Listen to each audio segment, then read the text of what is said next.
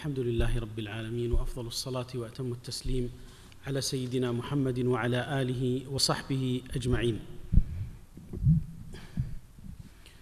سنتكلم اليوم عن بعض المسائل الفقهية التي لها أثر كبير في الاستقرار استقرار الأسرة.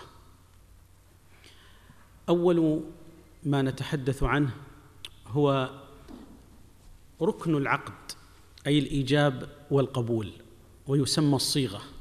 يقال عنه الصيغة فيكون ركنا ويقال الإيجاب والقبول فيكون ركنان يتقدم الزوج إلى الفتاة فيقصد بيت أهلها بيت والدها بيتها. ويتقدم إليهم خاطبا. فيجيبوه فيجيبه الأب قائلا زوجتك ابنتي. هو تقدم عرض نفسه عليهم راغبا في الزواج من بنتهم راغبا في مصاهرتهم في القرب منهم خاطبا لها. فإذا بالأب أو الولي يقول له زوجتك ابنتي. أو زوجتك موليتي. هذا يسمى الإيجاب بمعنى أنهم أجابوا فيرد الزوج بالقبول فيقول قبلت زواجها وكما قلنا يشترط فيه شروط الشرط الأول هو أن يكون باللفظ الصريح لا بلفظ من الألفاظ المقاربة أو التي فيها كناية. الألفاظ نوعين نوع صريح في بابه ونوع كناية. فمثلا إذا قال الرجل لزوجته أنت طالق معناه أنها طلقت.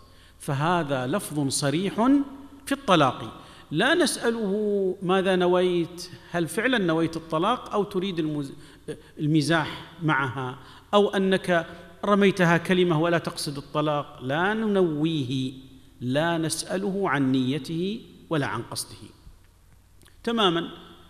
عندما قال لي الأخ الكريم الأستاذ أحمد قال لي تفضل ابدأ المحاضرة. وعندما بدأت المحاضرة وقف وقال لا أنا ما قلت ما قصدت هذا المعنى. أنا قلتها مازحا.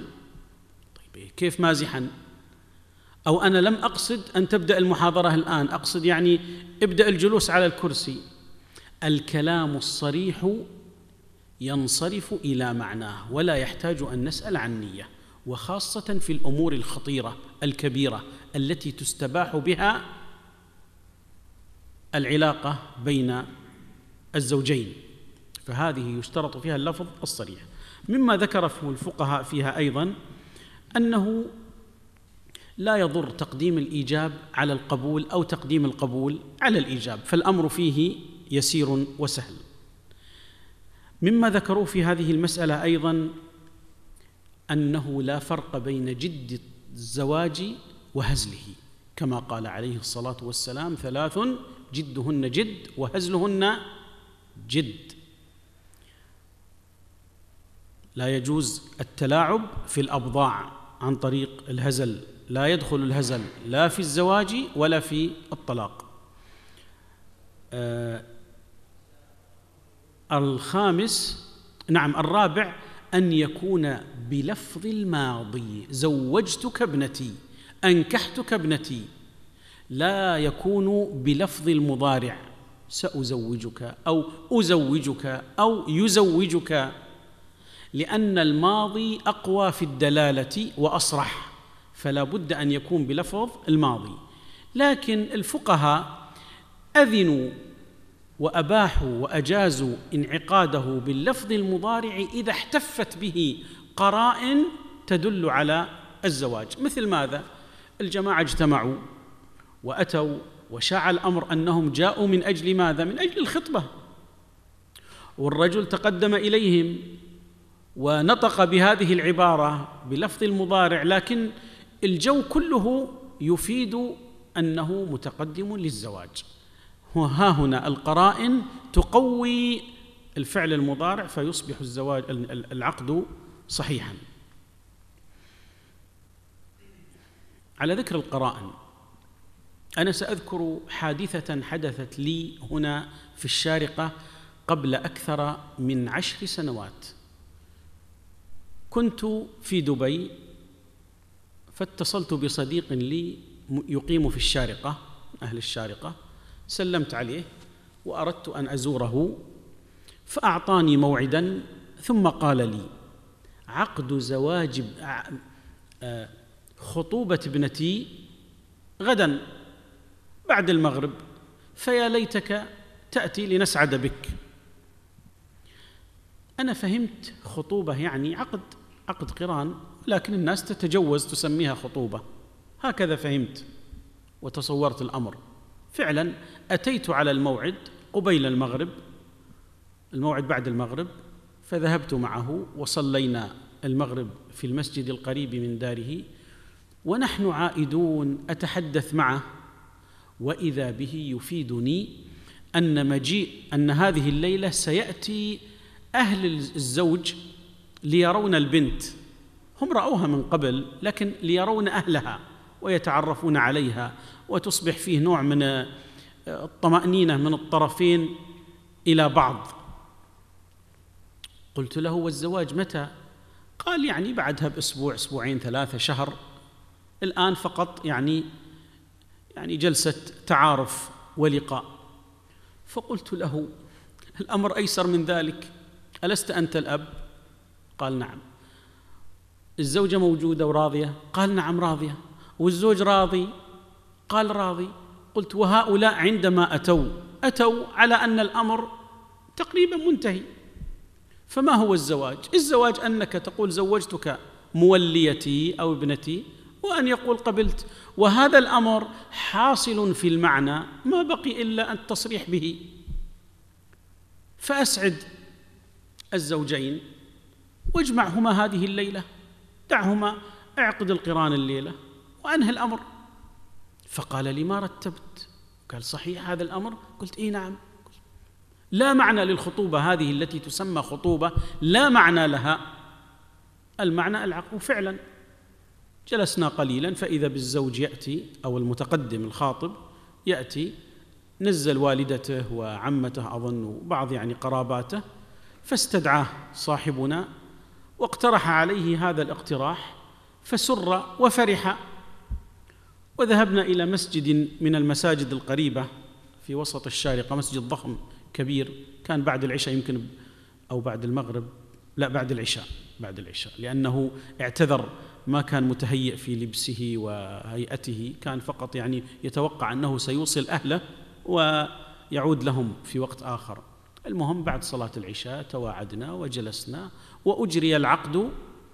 طبعا ما كان في مأذون ذاك الوقت فرتب أن يكون المأذون في وقت آخر. أجري العقد وفرح الزوجان فخير للزوج أن يبادر بالزواج وخير للفتاة أن تبادر بالزواج. والتأخير في هذه المرحلة من مظان النزاع والخلاف. الفترة التي ما بين الخطوبة وما بين الدخول فترة عصيبة.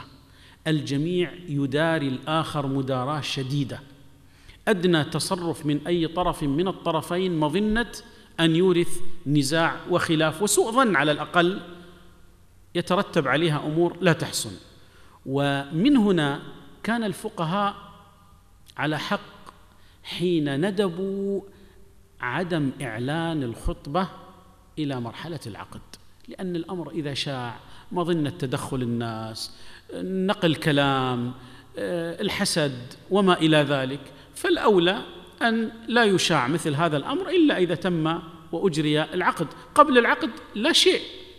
لم يتم أمر حتى يشاع ويذاع لا داعي له وليس محرما لكن الأولى الا يشاع. أيضا يصح العقد بالكتابة. طبعا هو الأصل أن يكون باللفظ الصريح لكن مثلا الأخرس. الذي لا يستطيع أن يتكلم يكتب بل يصح إشارة والفقهاء تساهلوا في هذه المسألة قياسا على المرأة. المرأة الأسبوع بالأمس قلنا أن الفتاة قد يغلبها الحياء فيحول دون أن تنطق بلفظ قبلته أو لا مانع أو موافقه عليه. فرخص الشارع أن نستنتج من تصرفاتها من ابتسامتها من صمتها من بكائها ما يشير إلى الرضا ونكتفي به. قالوا فكذلك الأمر بالنسبة للزوج. لو أشار برأسه أو بيده إشارة صريحة واضحة لا تحتمل فالعقد يتم. ومن شروط هذه الصيغة أيضا أن لا يكون فيها معنى من معاني التوقيت. تأقيت الزواج يبطله لسنة أو لشهر أو ليوم.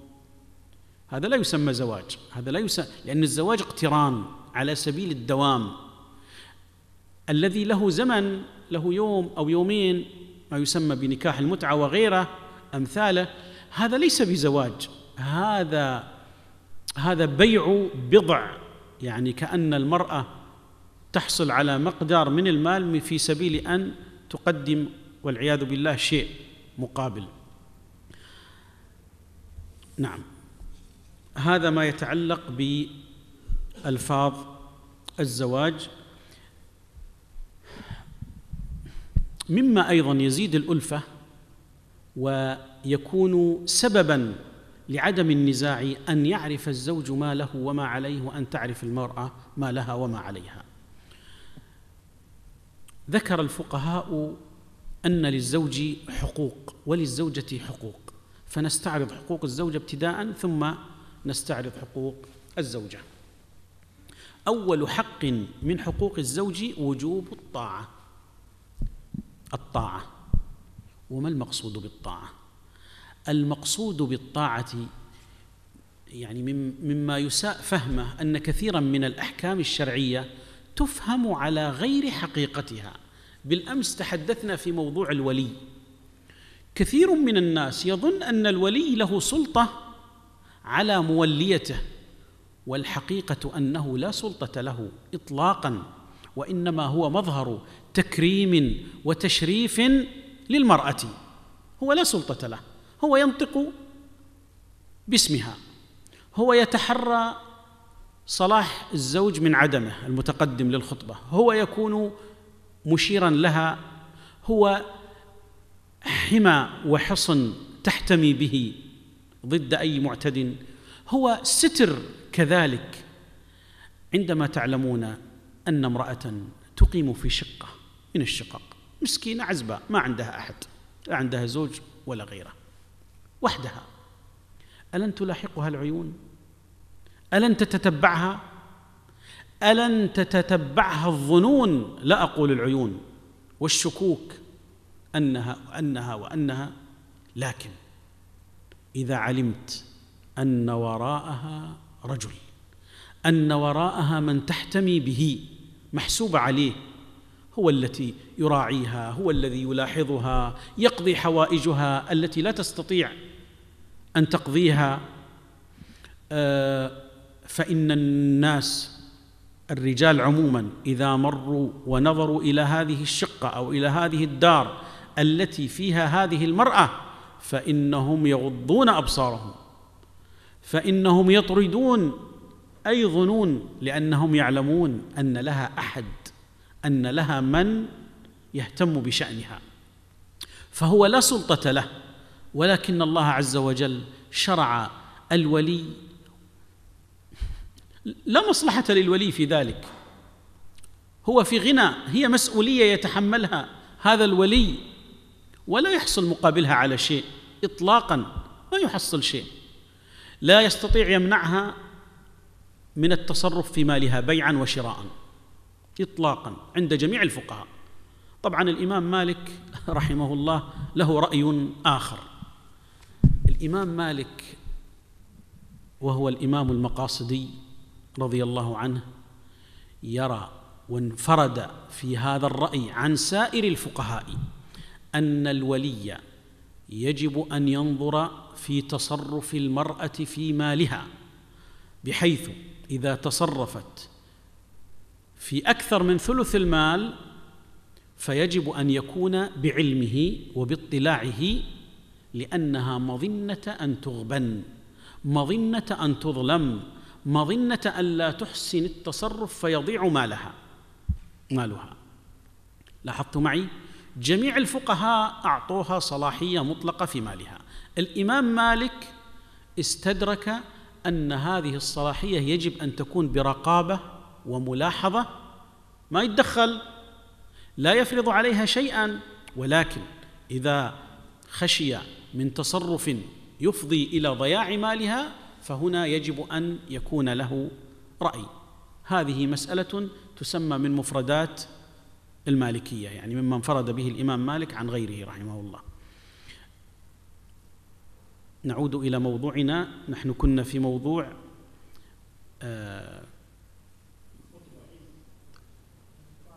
الطاعة. نعم نحن تكلمنا عن الطاعة ونبهت في موضوع الطاعة إلى أن المقصود بالطاعة. طاعة المرأة لا تزيد على أن تكون مأمورة أن تكون مرؤوسة. لا أقصد مأمورة بمعنى أنها تؤمر فتنفذ لا. أقصد مأمورة بمعنى أنها أن للبيت رئيسا. وهذه فطرة شرعها الله عز وجل في جميع المؤسسات. ونص على ذلك رسول الله صلى الله عليه وسلم في قوله كلكم راع.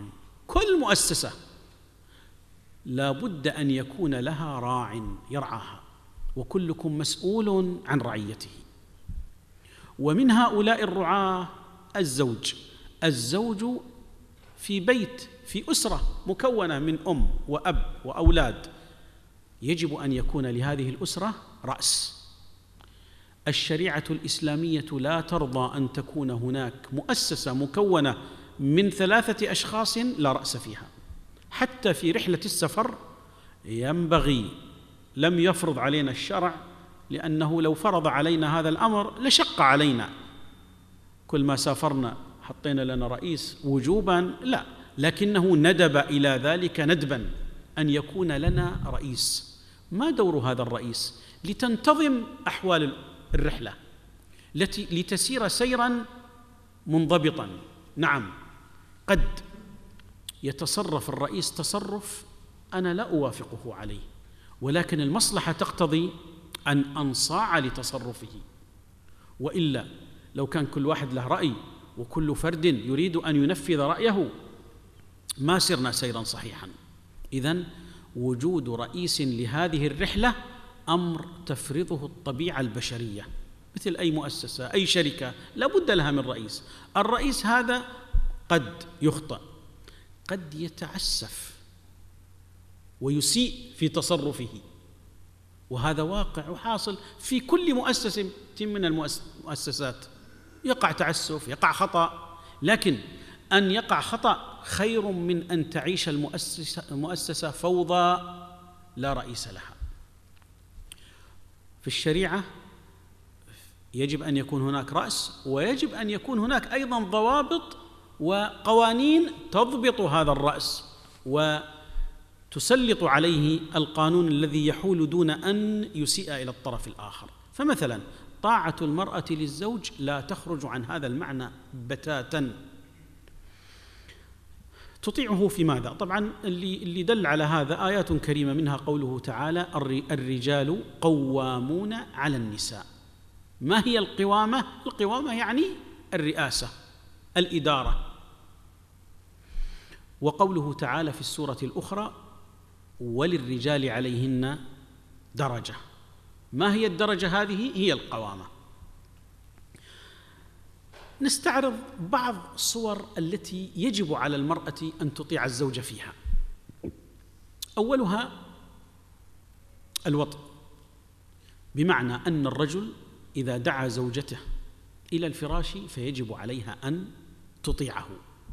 وهذا الأمر ليس خاصا بالرجل أيضا هو من حق المرأة فهو حق للطرفين ولكن الشريعة لم تشير تشر إلى شيء يتعلق بالمرأة في هذا الموطن بالخصوص وإن كان الفقهاء نصوا عليه مراعاة لحياء المرأة.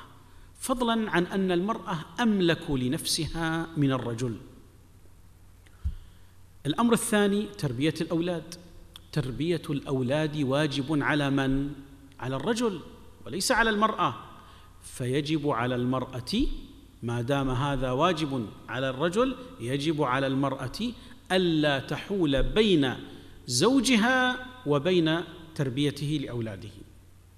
تعليمهم تهذيبهم تثقيفهم آه، سوقهم إلى معالي الأمور وما إلى ذلك. هذه التربية من شأن الرجل. نعم للمرأة أن تعينه أن تساعده له أن يفوض إليها كثير من المهام وهي بطبيعتها تندفع إلى هذا المعنى ولكن شأن التربية وطبيعتها هي من اختصاص الرجل.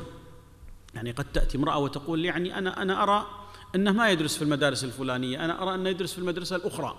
لا هذا لا تستطيع أن تفرضه إنما يفرضه من؟ الأب الزوج. الثالث السكنى معه. واجب عليها أن تسكن معه. فلا يجوز لها أن تنفرد وتقول لا والله أنا أنا أنا أنا قبلت بالزواج منك على أن أقيم عند أهلي على أن أقيم في بيت مستقل.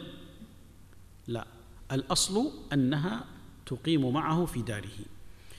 بقي مسألة ثالثة تشيع في البلاد وأيضا أنا المسائل هذه أيها الفضلاء آه، أشير إليها إشارات وإلا في كتب الفقه بسط طويل لها.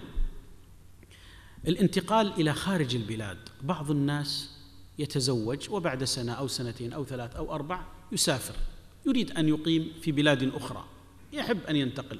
فهل على المرأة أن ترحل معه؟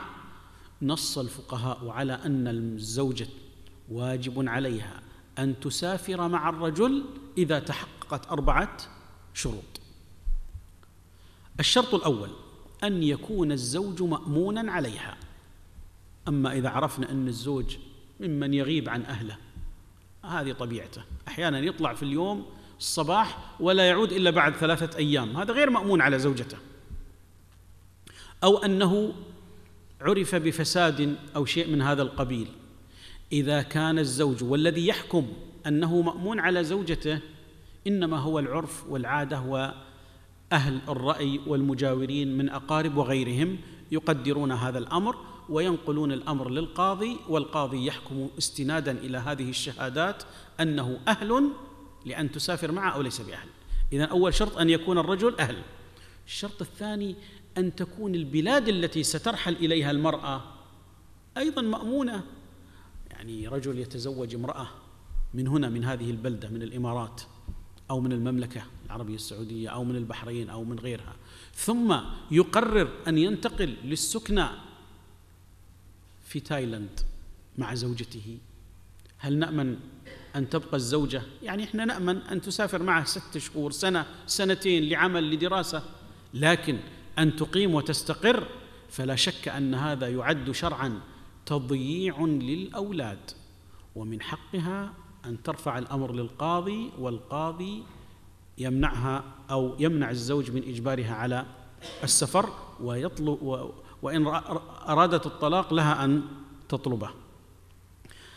آه، الشرط الثالث آه، أن يكون أيضا البلد التي تسافر لها تستطيع تتواصل مع أهلها. على الأقل قال الفقهاء ولو بالتواصل عن طريق الرسائل أو أنها تستطيع تأتي وتعود. يعني لا أن تكون في بلاد تنقطع عنهم.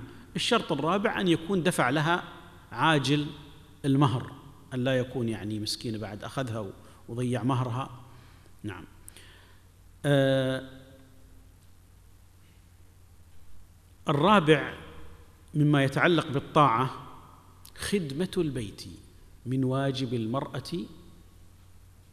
هذا واجب عليها لزوجها أن تخدم في البيت. ما هي الخدمة؟ الفقهاء ما قالوا خدمة البيت وسكتوا. ما هي الخدمة التي تجب على المرأة؟ يجب عليها الأمور الضرورية والحاجية التي يحتاجها الزوج مثل الطهي. بما فيه الخبز والعجن وما يتعلق به. غسل الأطباق غسل الثياب ثيابها وثيابه فقط. أما الضيوف فهذا لا يجب عليها أن تصنع لهم شيئا. فإن صنعت فهو تبرع. يعني نحن في أحكام الفقه نتكلم في وجوه الصحة والبطلان ما يجوز وما لا يجوز. وهناك باب آخر أعلى درجة هو يسمى باب الأخلاق. هذه مرتبة فيما يكمل به الشيء وما يحسن وما يطيب. لا نتكلم عنها. إن نظرنا من ناحية الوجوب فالواجب عليها أن تهيئ للزوج طعامه ولباسه وتكنس البيت والمقصود بالبيت لا أن يسكنها في بيت كبير وهي تكلف بأن تنظف البيت وجميع الغرف. لا لا لا إنما تقوم بالبيت بمعنى البيت الصغير المهيأ لها. بيت سكناها غرفة غرفتين ثلاث وما إلى ذلك. وبالقدر الذي تستطيعه فلا يكلف الله نفسا إلا وسعها. بقي موضوع الضيوف أو ما إلى ذلك لا يجب. وسنتكلم في موضوع الخدم بعد قليل أيضا بيأتي توسع. فالخدمة خدمتان خدمة ظاهرة وخدمة يسميها الفقهاء باطنة. الخدمة الظاهرة اللي خارج البيت هذه واجبة على من؟ على الزوج. والخدمة الباطنة داخل البيت واجبة على من؟ على الزوجة. ولذلك حتى الخياطة الخياطة نص عليها الفقهاء. تخيط له ثوبة نعم واجب عليها. لكن تخيط يبيع في السوق لا لا يجب عليه. أحكي لكم حادثة مرت بي. حادثة أخبرني بها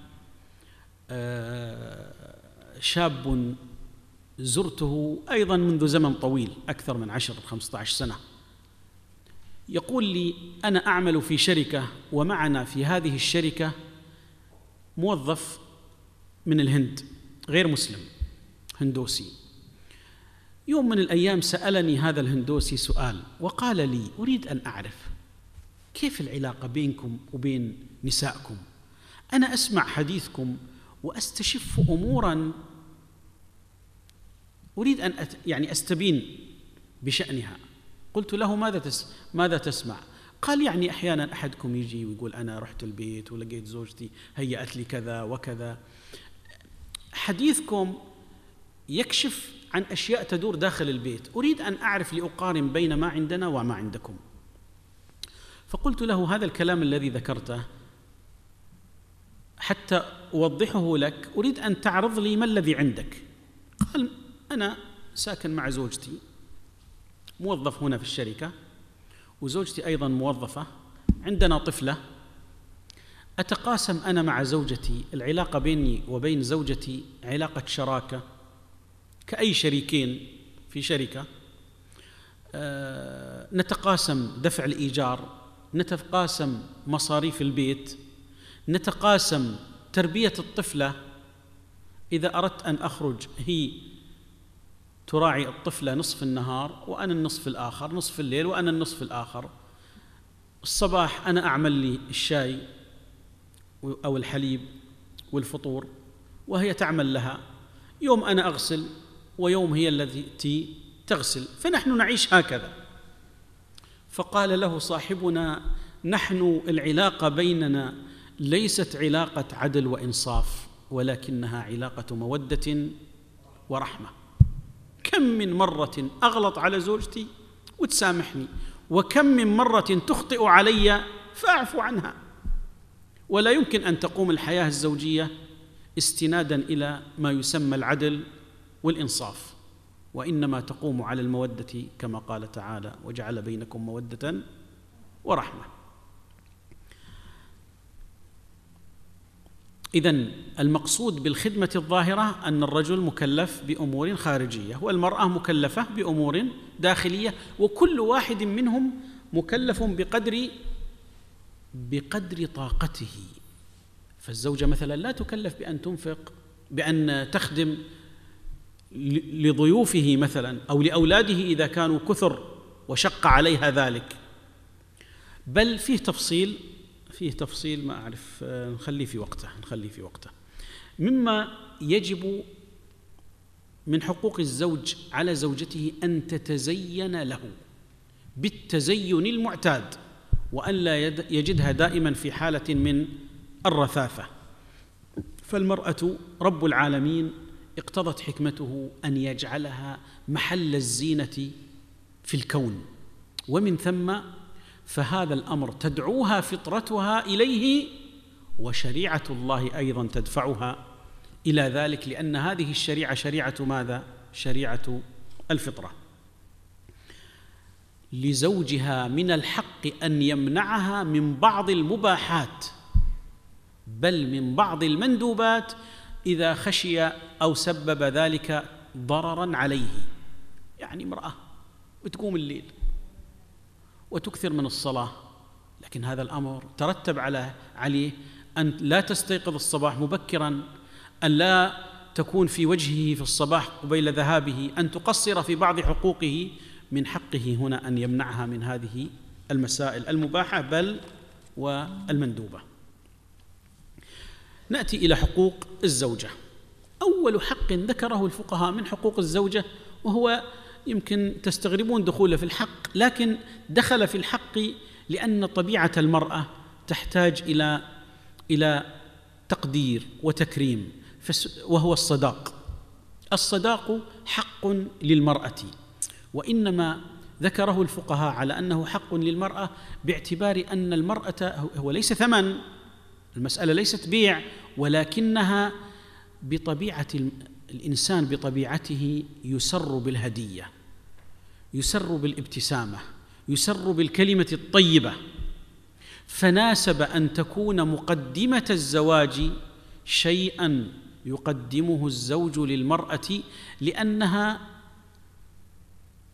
أعظم البشر انسا وسرورا بالكلمة الطيبة. الرجل يسر فمن باب أولى المرأة فالصداق أول حق. الحق الثاني النفقة بمعنى أنه يجب عليها أن يوفر لها النفقة. النفقة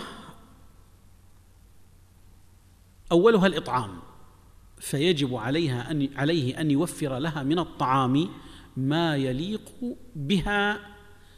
فإن كانت الزوجة والزوج في حال واحد بمعنى من حيث الغنى والفقر كلاهما مستواهم الاقتصادي واحد ما فيهم. المرأة ليست غنية والرجل ليس بفقير المستوى واحد. فها هنا يجب أن يكون الطعام الذي يوفر من فواكه ولحم وغيره بنفس القدر الذي تعيشه الأسر المماثلة لهم. فإذا كان الحالة الثانية الرجل غني والمرأة فقيرة فإن قبولها بالزواج منه معناه قبولها. يعني فيه نوع من الرغبة والتأمل أن يعطيها أكثر مما تعيش عليه هي ومثيلاتها لأنه هو أغنى. قال الفقهاء في مثل هذه الحالة يعني يعطيها وسط ما بين حالته وحالتها. وكذلك الشأن في المرحلة الثالثة أو الحالة الثالثة التي تكون المرأة فيها غنية. والرجل يكون فقير. نقول إن كان الرجل لا يستطيع أن يعطيها إلا بقدر حاله بقدر فقره فلا نشق عليه ولا نلزمه أن يدفع أكثر. فإن كان الرجل يستطيع فنندبه ونحضه على أن يرتفع بها قليلا لتكون في حال وسط بين حاله وبين حالتها في الغنى. هذا الأمر فيما يتعلق بالطعام وكذلك الأمر فيما يتعلق بالكسوة من لباس وغيره والنفقة وكذلك الأمر فيما يتعلق باللباس بالسكن وقدر البيت حجما وسعة ومحلة أيضا وكذلك الأمر بالأثاث. الأثاث الأصل فيه أن يكون كذلك شأنه شأن الحالات الثلاث التي ذكرناها. إن كانت المرأة والرجل في حالة واحدة فيهيئ لها بقدر حالهما. فإن كانت المرأة فقيرة والرجل غني فالأصل أن يعطيها الوسط لأنها كانت تتطلع حين تزوجت به إلى شيء أعلى مما هي عليه. وكذلك إن كانت المرأة غنية وكان الرجل هو الفقير يعطيها الوسط.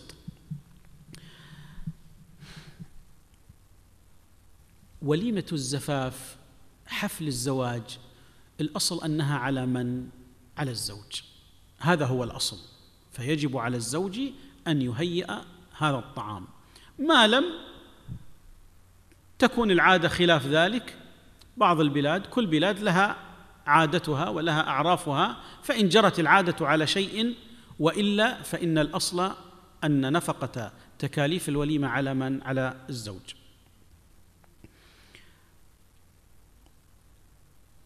بخصوص الوليمة مما شاع في هذا الزمان للأسف أن الزواج متى يكون؟ في الصباح أو الظهر أو العصر أو المغرب أو العشاء. متى؟ بعد العشاء؟ في زواج بعد العشاء؟ عادة بعد العشاء بكم؟ يعني مباشرة؟ يمكن الإمارات ما شاء الله أنا لاحظت أنها أفضل من غيرها لكن في أغلب دول الخليج وخاصة للأسف في الحجاز ويمكن حتى في مصر وغيرها الزواج لا يكون بعد العشاء يكون بعد منتصف الليل للأسف وهذا عيب وهذا خطأ وهذا خطأ كبير جدا جدا جدا وفيه مفاسد لا تتناهى.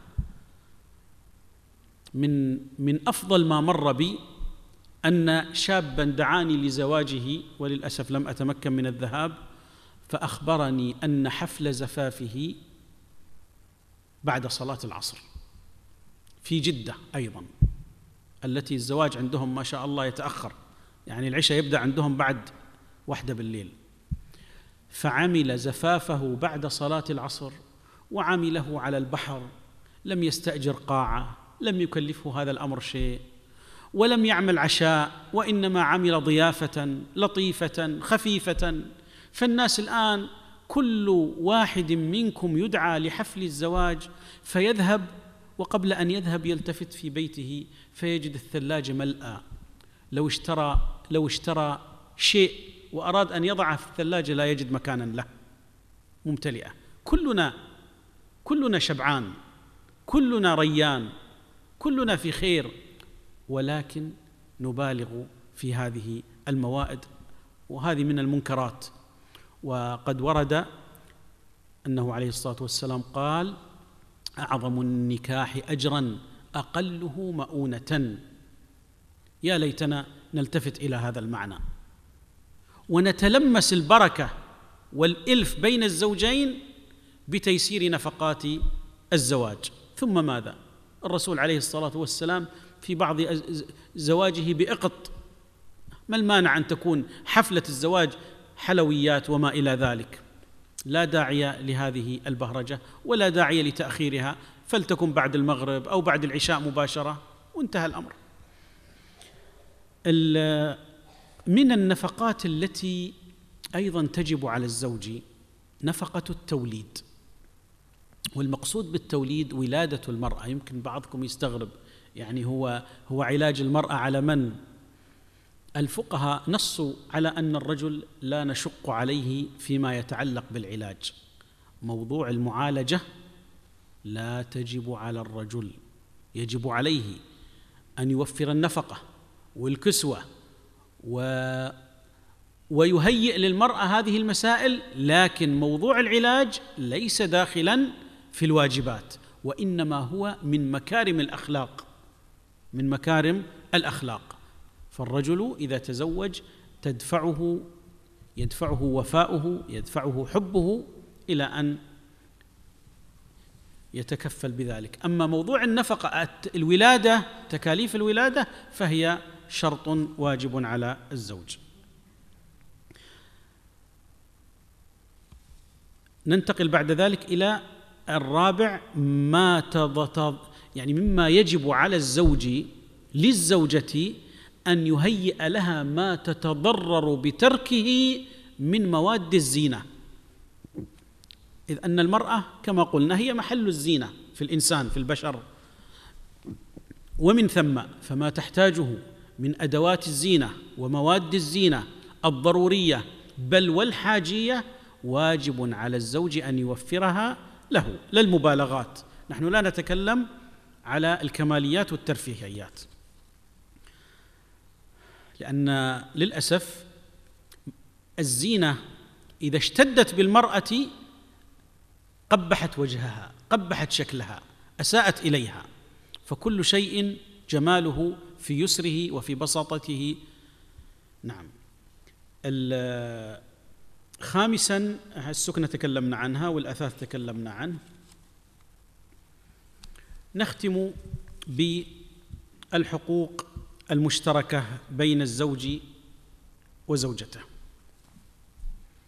الحقوق المشتركة بين الزوج والزوجة ذكرنا حقوق الزوج وحقوق الزوجة. الحقوق المشتركة التي يجب أن تتوفر من الطرفين من كليهما أولها حسن المعاشرة. كما قال تعالى وعاشروهن بالمعروف. أي أن كلا الطرفين الزوج والزوجة مطلوب منهما أن يكون بينهما تآلف وتواد وتحاب وتعاون والا يكون بينهما شيء من المنغصات. يروى عن سيدنا أبي ذر رضي الله عنه أنه حين تزوج دخل على زوجته فالتفت إليها وقال إذا رأيتني غضبان فرضيني وإن رأيتك غضبا رضيتك وإلا لن تقوم لنا عيشة بعد اليوم. فرب العالمين جعل هذه العلاقة كما قلنا علاقة مودة ورحمة. منها التأدب بآداب الإسلام. آداب الإسلام التي فرضها رب العالمين علينا فرضها لتلم الشمل. هو لم يفرضها بين زوج وزوجة فرضها بين عموم البشر. يعني العلاقات التي شرعها الله بيني وبين أبي وبيني وبين أمي وبين وبين أخي وبيني وبين الغريب وبيني وبين المريض وبيني وبين الميت. هذه العلاقات إنما شرعها الله عز وجل ليزيد اللحمة بين المجتمع بين أفراد المجتمع. فكذلك الشأن في العلاقة الأسرية. كل شيء يزيد الألفة واللحمة بينهما فقد ندبت الشريعة إليه. مثلا أنا هنا ذكرت مثلا منها السلام. ما أقبح أن يدخل الرجل إلى بيته وزوجته جالسة؟ ويدخل يا فلانة شو الغد اليوم؟ يجب أن يقدم السلام يقدم الابتسامة. يعني هذه المعاني شرعها الله عز وجل لتزيد في الألفة والمودة بين الطرفين. السلام تشميت العاطس. ما ألطف عندما تعطس المرأة أو يعطس الرجل أن يشمت أحدهما الآخر. التهادي ما هي الهدية؟ تعرفون ما هي الهدية؟ حتى الابتسامة تعتبر هدية. قبل أن يدخل إلى البيت أن يمر بدكان ويشتري شيء يسير لا يكلفه شيء. من أطرف ما مر بي أخبرني رجل بدوي من البدو. تزوج وبعد عمر طويل لعل زوجته يعني ضعفت أو اضطر أن يتزوج أخرى. وعنده ما شاء الله من الأولى أولاد. فالثانية عندما تزوج بها زادته تعلقا بأولاده. وحكى من الأمور التي حكاها لي ويحكي بطريقته البدوية لم يعني لا أحسن يعني أني أصوغها. يقول إذا أتيت إذا ذهبت إلى أولادي وهي معي قبل أن نصل تقول قف قف قف عند محل دكان فأنزل تنزل وتشتري بعض الحلويات. فهو يقول للبدوي هكذا بعبارته البدوية. بفلوسي بفلوسي. لكني راضي راضي راضي. نعم هو هو مسكين ما خطر في باله أن يأخذ لهم هدية. يدخل عليهم يقول أنا أكبر هدية لهم أنا. يدخل ويسولف معهم ويتحدث. لكن هذه المسائل لها وقع كبير في نفوس كل إنسان فضلا عن الزوج مع زوجته التهادي. النصيحة. والنصيحة شيء والإساءة شيء آخر. يعني عندما يجد الرجل من زوجته شيء يسوءه لا يجوز ولا ينبغي له أن يلتفت اليها ويقول أنت روحي غسلي ريحتك ما عجبتني. لا لا لا. لا. يجب أن يحتال لذلك. يحتال عليها لتعتني بالنظافة. وهو أيضا عليه أن ينظف نفسه. يقول سيدنا عبد الله بن عباس إني يعني لأتزين لزوجتي لأني كما أنني أريدها نظيفة أيضا هي تريدني نظيف. نعم. النصيحة التعاون على المهام عندما يدخل عليها ويجد يجدها تعمل أن أيضا يعينها على العمل أن تشعر أن فيه إعانة ولو ولو بشيء يسير. العبرة أنه يوصل لها رسالة بأنه يحبها وأنه يتعاطف معها. من الأمور التي تزيد الألفة وينبغي أن نوصي نحن أنا أذكر ونحن صغار في ليلة الزواج يأتي أحد المشايخ عندنا في الأحساء ويمسك بالعريس ويخرج به جانبا ويختلي به ويوجه إليه مجموعة من النصائح. للأسف هذه النصائح فقدناها منذ زمن طويل لم نرى أحدا لا ندري إذا كان هؤلاء الشباب يدخلون وتوجه إليهم نصائح أم أن توجه إليهم أشياء قد تكون سببا في الفراق. ما أكثر وأسوأ النصائح التي توجه من صديقات الفتاة للفتاة ومن أصدقاء الشاب للشابة. عندنا رجل في شمال المملكة بدوي حدثوني عنه أن والده نصحه قال له إذا تزوجت يجب أن ترى منك الزوجه أنك اسدا. قال كيف؟ قال يعني إذا دخلت عليها أول ما تدخل أضرب. وفعلا أول ما دخل ضربها على وجهها كفا. فهي مسكينة من الروعة وضعت يدها على خدها فإذا به يضربها في الخد الآخر. هي من من حرقة الألم ما بيدها إلا أنها أمسكت بيده وعضت. صرخ ما تركته بقيت عاضة عليه. يظهر يعني تعرف امرأة بدوية وقوية و... بقيت ممسكة. والرجل يتألم وشدت من الخوف. تخشى أن تفك ويذبحها فبقيت ممسكة بأسنانها. على عروقه فلم تفلته حتى كاد أن ينهار. فبمجرد ما فكت يديها هرب هرب يبكي.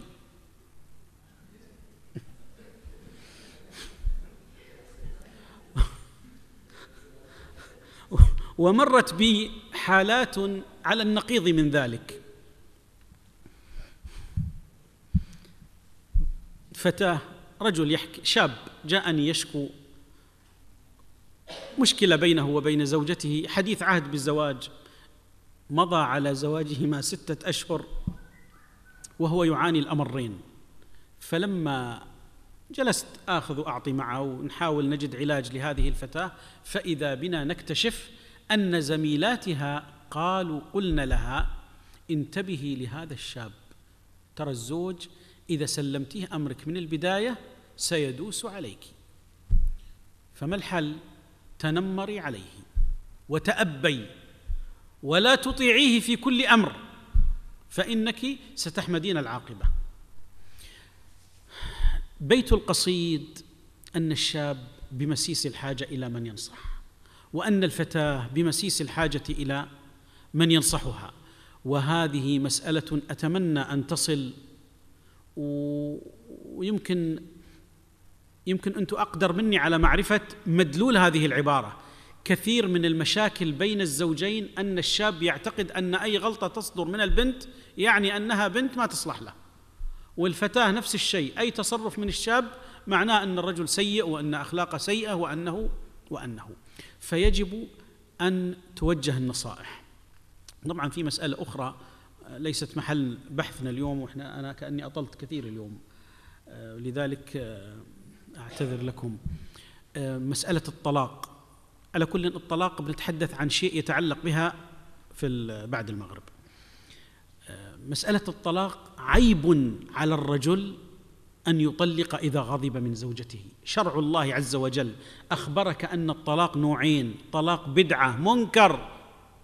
منكر خطأ كبير إثم عظيم. أن يطلق الإنسان إذا اشتهى أو إذا غضب. أو إذا أخطأت المرأة. الطلاق السني هو الطلاق الذي يكون في طهر لم يمسسها فيه. اليوم قررت تطلق انتظر.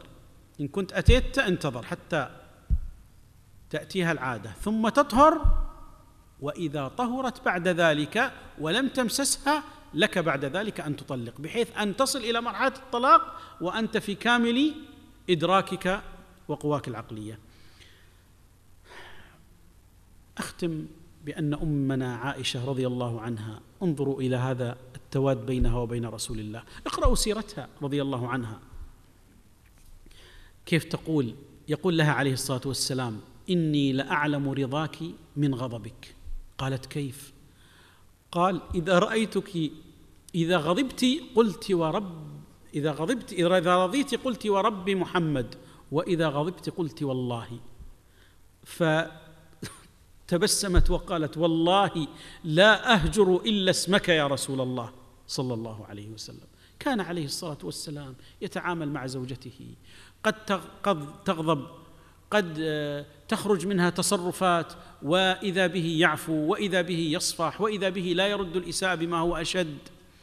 فيجب على الأزواج أن يكونوا أملك لغضبهم مما نسمع في المنتديات. أنا كأنني أطلت ولكن أختم بقوله عليه الصلاة والسلام أعظم المسلمين إحسانا أكملهم اخلاقا. وأكملهم وأحسنهم اخلاقا خيرهم لأهله وأنا خيركم لأهلي. وصلى الله وسلم على سيدنا محمد وعلى آله وصحبه.